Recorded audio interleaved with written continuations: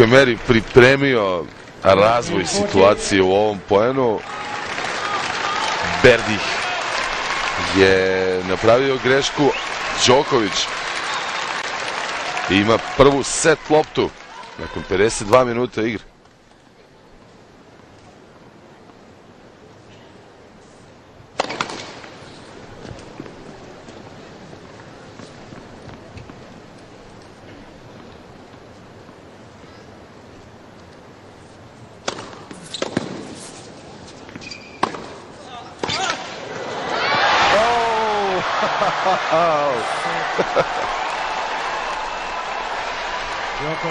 E to ono što sam pominjao na početku. Berdih